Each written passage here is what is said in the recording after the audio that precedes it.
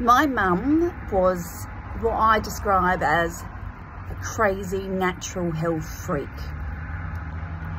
So we grew up in a small country town. Well, I did most of my growing up in a small country town and there was a health food store there and I think we were the only kids at school that their breakfast cereal came from the health food store, Crunchola.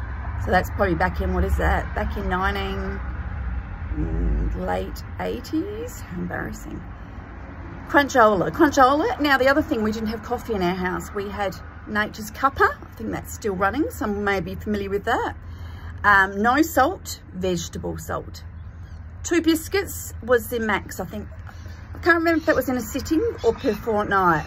I'm quite disciplined with food, I wonder why. Um,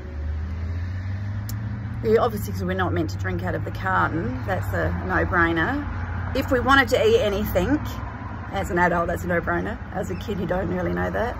Uh, if we were hungry, she would say, eat an apple, which were in the cupboard, or uh, pick an orange off the tree.